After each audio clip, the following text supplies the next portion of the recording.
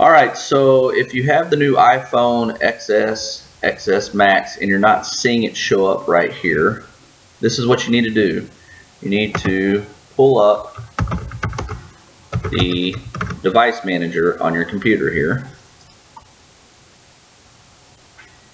And when you do that, you need to go down to the USB devices down at the very bottom. And you're going to see something that says Apple Mobile Device USB device.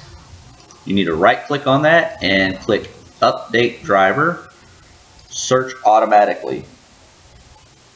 And it's going to automatically install that for you. Mine have already been updated and once you do that, when you close everything out, if you plug your phone in, you will see this. Thanks for watching.